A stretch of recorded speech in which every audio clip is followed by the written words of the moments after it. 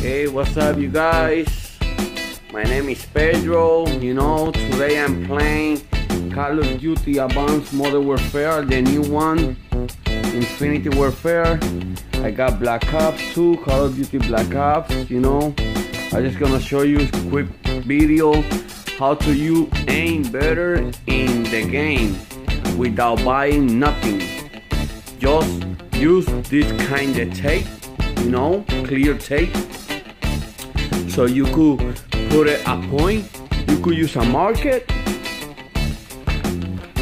You could use a market you know just make the point in the tape and put the tape in the TV like me look that's a tape right there in the point in the middle of the gun and in the middle of the TV so you could aim better you don't need to buy no cables no nothing you know so hit me up in comment in the link below or give me some like, you know.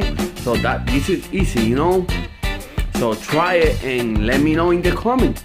So have a great day, guys.